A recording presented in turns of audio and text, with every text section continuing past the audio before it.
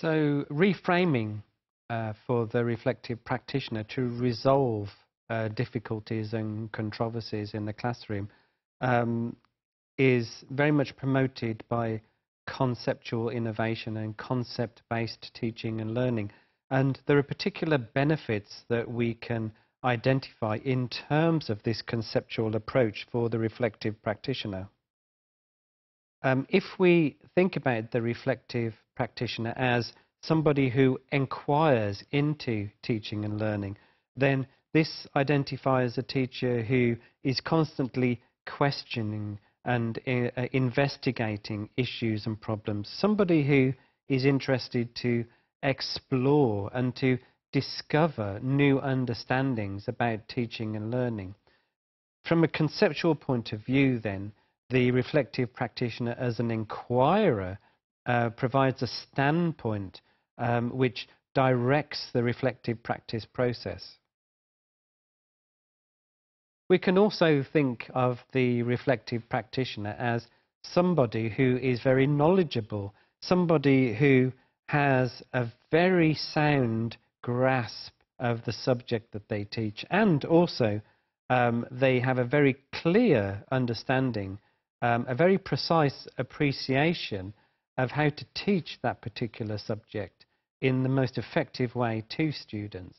And therefore, a concept based understanding of the reflective practitioner as somebody who's very knowledgeable again helps us understand that um, the teacher is um, always looking to um, be the most uh, knowledgeable that they can about their subject.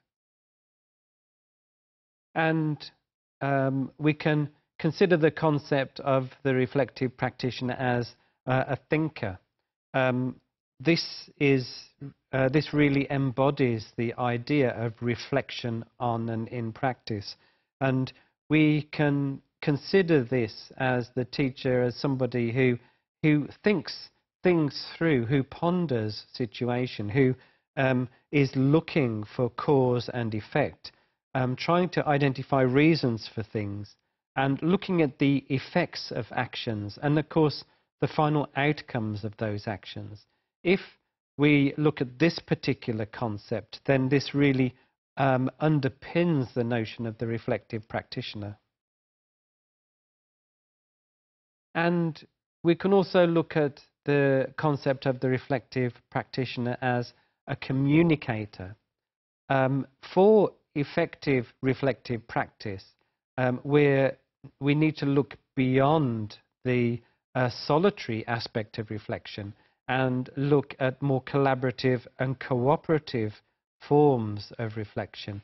And if we conceptualize the reflective practitioner as a communicator, then this is a teacher who is able to um, uh, express issues, problems very clearly to others in order to get feedback uh, and uh, information to help them reframe the problem and maybe find ways to resolve those particular problems.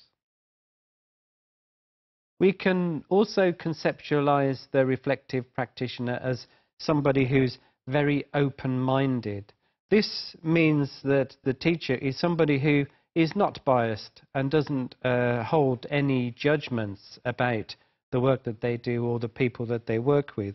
And it's somebody who will tend not to jump to conclusions very quickly, but will always be looking to explore conclusions rather than finalize them.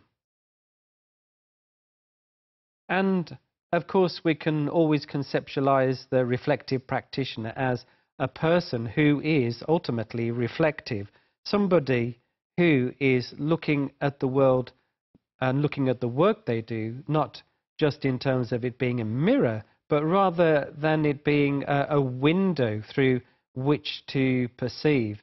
Um, and this gives a very different point of view conceptually about the reflective practitioner.